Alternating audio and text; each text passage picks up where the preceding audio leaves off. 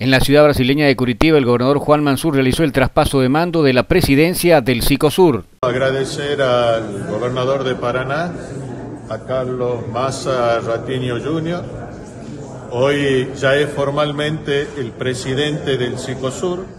El Sur es eh, una institución que la componen siete países, Argentina, Bolivia, Chile, Perú, Brasil, Uruguay y Paraguay. Y de los estados subnacionales lo componen 71 estados subnacionales.